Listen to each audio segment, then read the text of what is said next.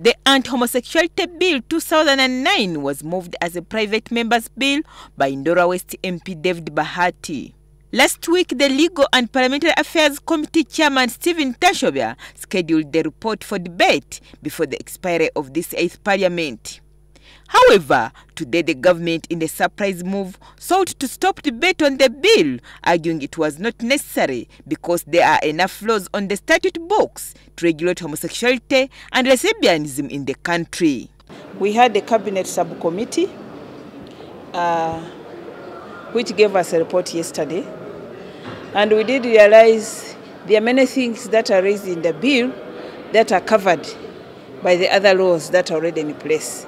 And uh, the law which is in the offing, the Sexual Offences Bill, will cover most of the other issues that have not been covered.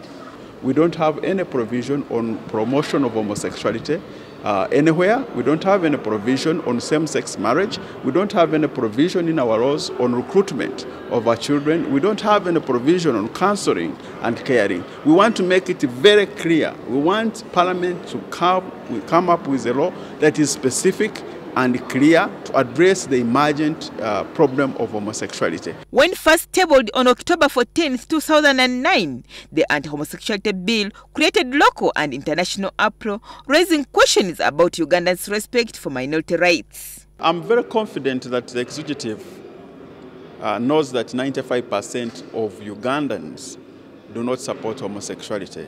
Of course, we are concerned. We don't condone homosexuality in our country. That one should be very, very, very clear. It's unconstitutional.